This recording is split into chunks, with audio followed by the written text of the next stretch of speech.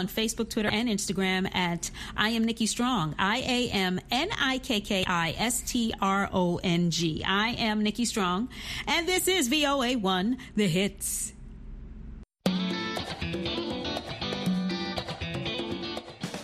Welcome to Learning English, a daily 30 minute program from the Voice of America. I'm Jonathan Evans. And I'm Ashley Thompson. This program is aimed at English learners, so we speak a little slower and we use words and phrases especially written for people learning English. Today on the program, you will hear from Brian Lynn and Anna Matteo. Later, Kelly Jean Kelly will present America's Presidents. But first, the worldwide fishing industry has slowed since the start of the coronavirus pandemic. But experts say it is unclear if the slowdown will help endangered sea life recover. Hours recorded by fishermen at sea fell by nearly 10% around the world after the March 11th declaration of a pandemic. Fishing completely stopped in countries that were most affected by the coronavirus, such as China. The drop in fishing has raised questions about food security, ocean management, and worldwide trade. As countries return to fishing, experts are wondering whether an extended fishing slowdown could help rare ocean animals. One such animal is the North Atlantic right whale. Only about 400 of the whales remain, and they face a deadly risk of being caught in fishing equipment. Many other rare species face the same risk. Less fishing could also help some kinds of fish in the Mediterranean, like the overfished Atlantic bluefin tuna. David Kroodsma is a research director for the nonprofit group Global Fishing Watch. He said, it is too early to tell if less fishing is helping sea creatures. He added that since millions of people depend on fishing to make a living, any help to sea life has come at a cost. I don't think we should be celebrating anything here.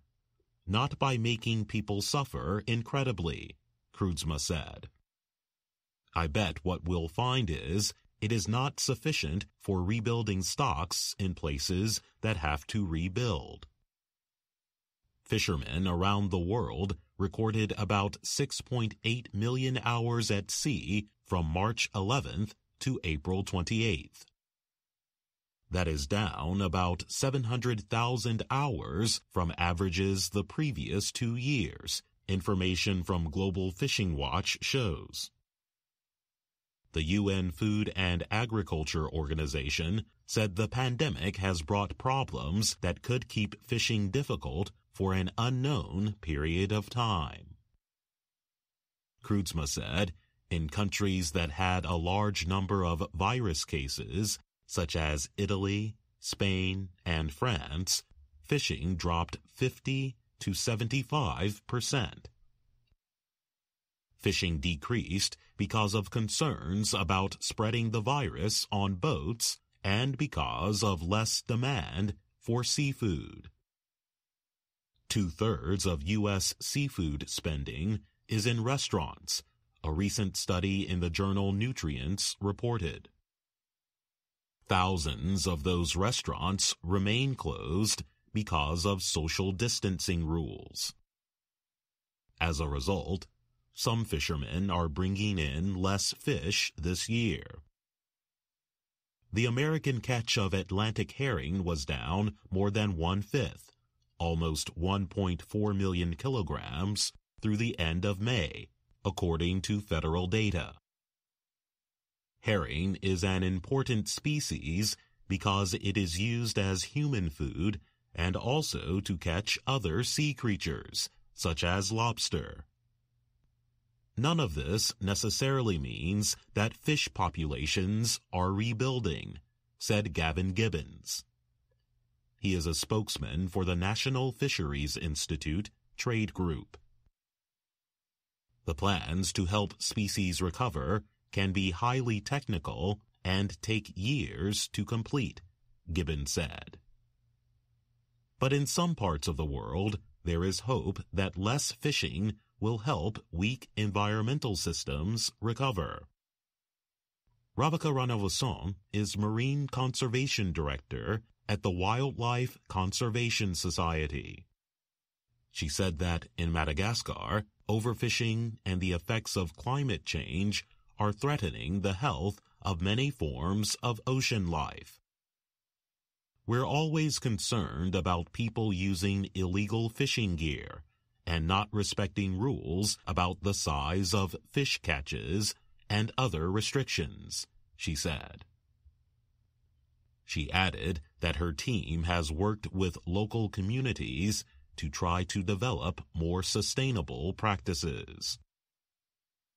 The long-term effects of the fishing slowdown remain to be seen, especially with coastal communities starting to return to work. We're definitely seeing cleaner water, fewer ships out, and fewer entanglements, said Jake Bleach, a spokesman for the group Defenders of Wildlife. We'll see what happens when the economy restarts.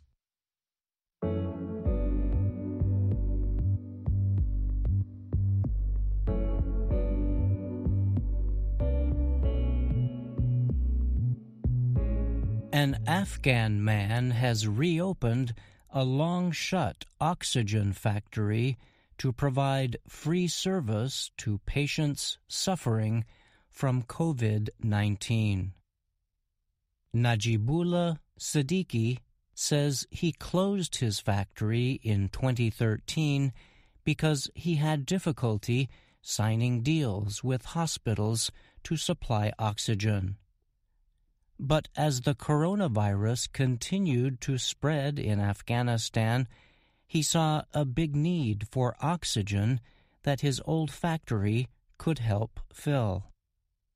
I saw a man crying for his wife who died from coronavirus due to lack of oxygen, Siddiqui told the Associated Press. That moment, I made the decision to reopen my factory. Now, family members of Afghans suffering with COVID 19 line up at his factory in Kabul to receive free oxygen refills that can keep their loved ones alive. Afghanistan has struggled with shortages of medical oxygen during the coronavirus crisis. It gets its oxygen cylinders from outside the country. Until recently, imports were halted because of border controls. Shortages have caused the price of new oxygen containers to rise sharply to about $250. The price to refill the containers is now $25 five times what it once was. Many people blame the increases on overcharging by retail sellers and government failures to guarantee a supply. Siddiqui's free service is a popular solution for many poor people hit by the virus. As word of the free service spreads on social media, vehicles line up with people seeking to refill cylinders. This factory is doing great work offering it for free, Bilal Hamidi told the AP. He said he fills three small cylinders a day for his brother who was infected with the virus while caring for their mother. Their mother died of COVID 19 in early June. The factory was dusty and the equipment run down when Siddiqui decided to restart production. But everything still worked. I'm happy I didn't sell these machines, Siddiqui said. He hired 12 men to help. He even moved into the factory temporarily so he can react to situations quickly.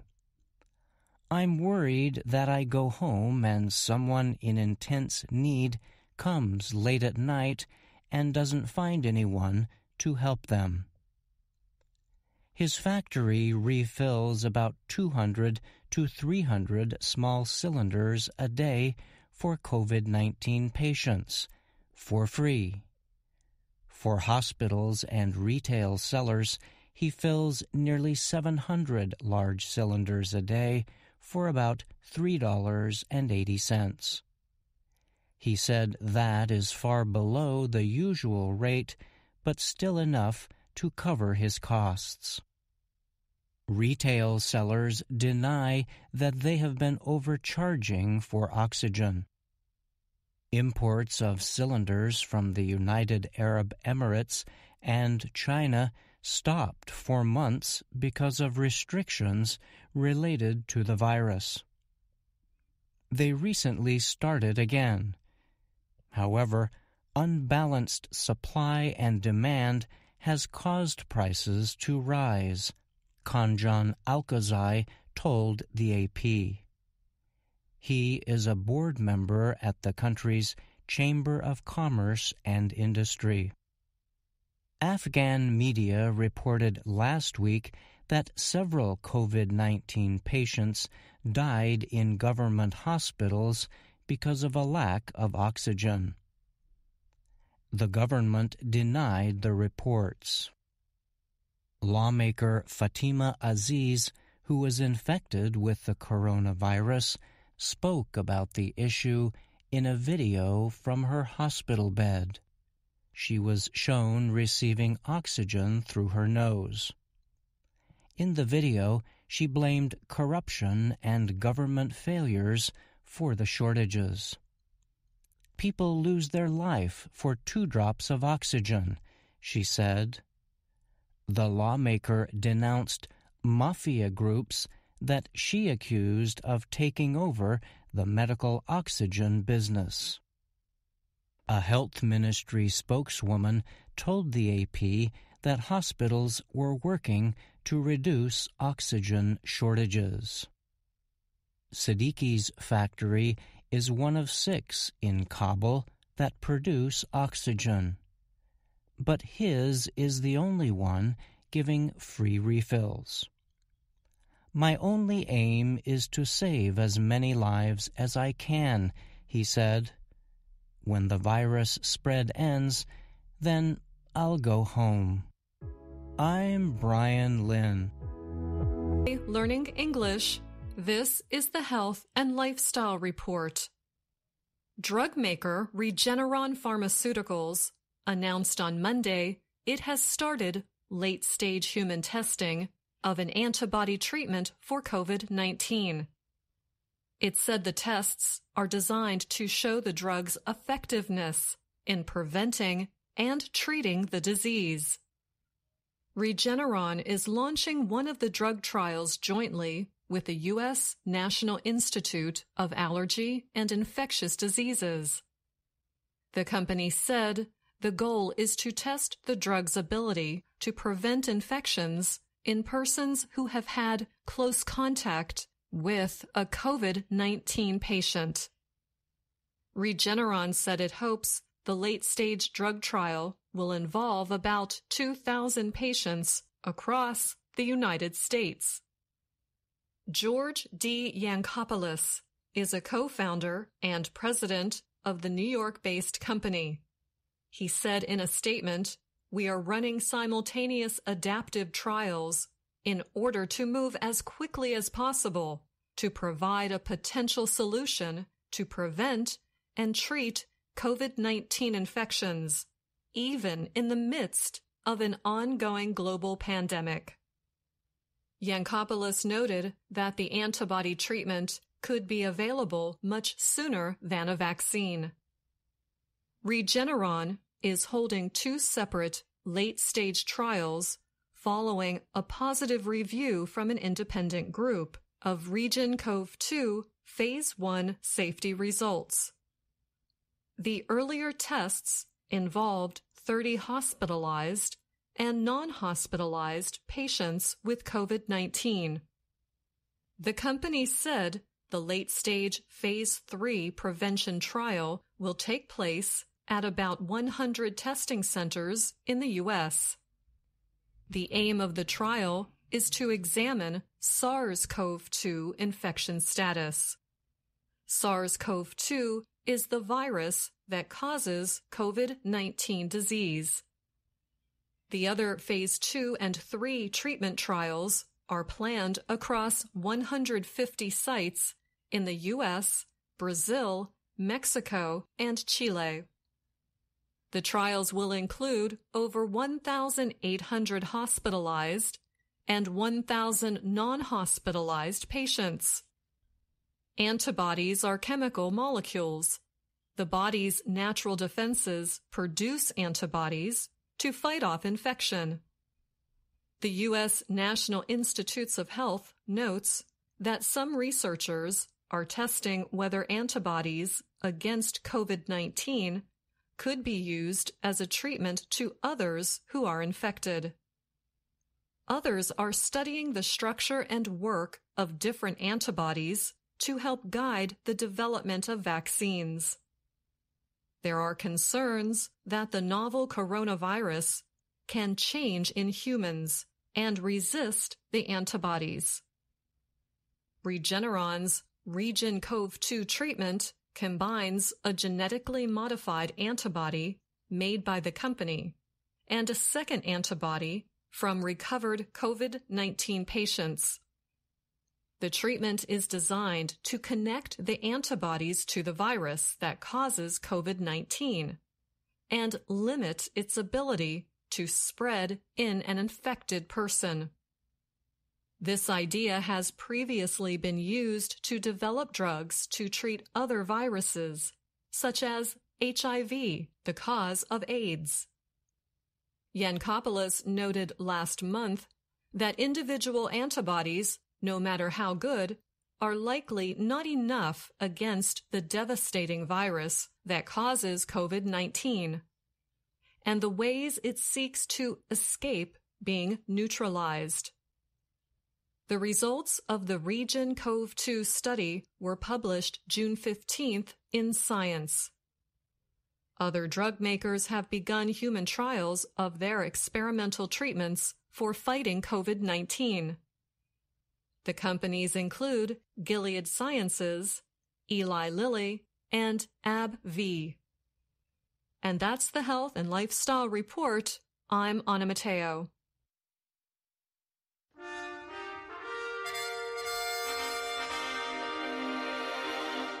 VOA Learning English presents America's Presidents. Today we are talking about Abraham Lincoln. He was the 16th President of the United States.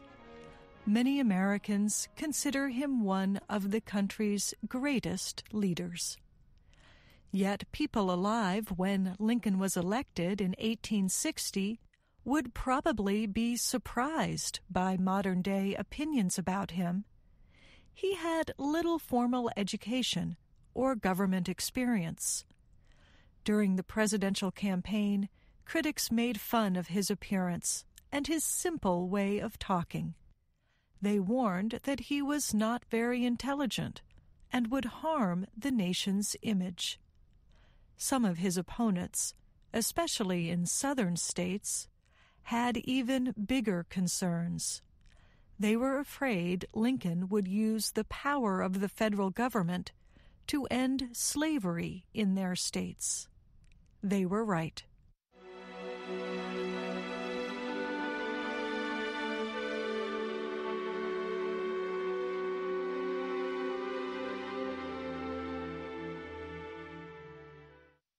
Abraham Lincoln was born in the frontier state of Kentucky His family was very poor and had a simple home, a log cabin.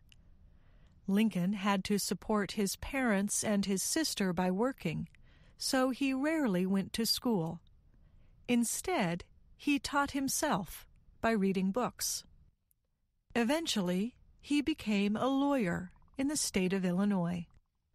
As a young man, Lincoln was known for several qualities. He was tall and thin. He was very strong. His neighbors remembered him cutting down trees. And he was honest. The people he defended in court called him Honest Abe. In time, Lincoln was elected to the Illinois General Assembly, the state's legislature. He also served one term as a congressman in the U.S. House of Representatives. But he was not popular there. Voters did not like his opposition to the country's war with Mexico. So Lincoln withdrew from politics and turned his attention to his family. He had married a Southern belle named Mary Todd in 1842. They had four sons, but two died when they were very young.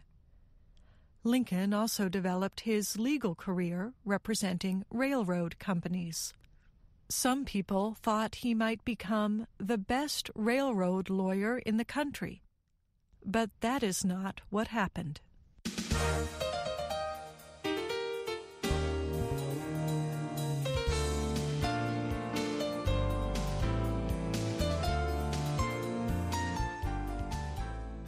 In the 1850s, Lincoln returned to national politics. The division over the issue of slavery was deepening. Lincoln was not an anti slavery activist, an abolitionist, but he did not support the country's policies on slavery. Lincoln believed slavery violated the American Declaration of Independence, which said all men had the right to life, liberty, and the pursuit of happiness. To be clear, Lincoln did not believe that black people should have the same rights as white U.S. citizens. But he did not agree that one person should own other people or profit from their work while they earned nothing and were held captive. Lincoln decided to compete in elections for a seat in the U.S. Senate he was chosen as the candidate of a new anti slavery party. Members called themselves Republicans. During the election campaign, Lincoln famously discussed the issue of slavery in a series of debates with Stephen Douglas, the Democratic Party's candidate. Lincoln's words moved some voters, but they did not earn him enough votes to get elected. So, while Douglas took the seat in the Senate, Lincoln prepared to run for president. Lincoln said that, if he were elected, he would not expand slavery to new territories in the country's West. But he promised not to interfere with slavery in the southern states, where it already existed. Voters in southern slaveholding states did not trust Lincoln. Not a single Southern state supported him in the election of 1860. But he won anyway. The support of anti slavery Northerners gave him the presidency. In answer, seven Southern states withdrew from the Union. Four more later joined them. These states formed a new government called the Confederate States of America, or the Confederacy. Confederate officials chose their own president and wrote their own constitution, which permitted each state control over its own laws, especially laws that protected slavery. Confederate officials said they no longer recognized the power of the U.S. federal government or its chief executive. As that chief executive, Lincoln would have to decide what to do. President Lincoln's first test came a little more than a month after he was sworn in. The event involved Fort Sumter, a federal military base on an island off the coast of South Carolina. Soldiers on the base needed food. Lincoln said he would send some by ship. But Confederate officials considered the port part of South Carolina, which belonged to the Confederacy. They demanded that the Union soldiers leave the fort. But Union forces and the U.S. President ignored the Confederates' demands. As promised, Lincoln sent the supply ships. As expected, Confederate soldiers attacked. A day and a half later, the fort's Union soldiers surrendered. The clash did not last long, and no one was killed in the fighting. But the battle at Fort Sumter marked the official beginning of hostilities between the Union and the Confederacy. Lincoln immediately took action to answer the loss at Fort Sumter. He called on state militias for troops and asked for a special meeting of Congress. The President was careful not to ask Congress to make an official declaration of war in part because he did not want to recognize the Confederacy as a separate nation. Instead, he called the Southern states' opposition a rebellion. However, the conflict between the Southern Confederacy and the Northern Union was a civil war. Neither side expected the fighting to last very long a few weeks or maybe months. Instead, the Civil War lasted four and a half years.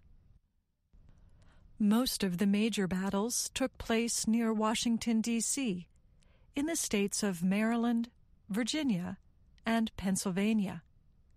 Soldiers and civilians also clashed in the West, in Tennessee, as well as in the southern states of Mississippi, South Carolina, and Georgia but the war involved the entire country. At least four million men fought in it. Among the soldiers were African American and Native American men. The conflict divided families. Brothers, fathers, and sons fought against each other. Women in both the North and South also supported the war effort. They cooked meals, made and repaired clothing for the troops, served as nurses, and cared for the soldiers. Both white and African American women also took over the work of men who had left to fight. And more than 620,000 men died. Recent scholarship says as many as 750,000. The Civil War remains the bloodiest war in American history and it changed the country. The war radically affected American politics, economics, and society. Abraham Lincoln was the U.S. President through all of it. Next week, we will talk more about Lincoln's presidency and his legacy. I'm Kelly Jean Kelly.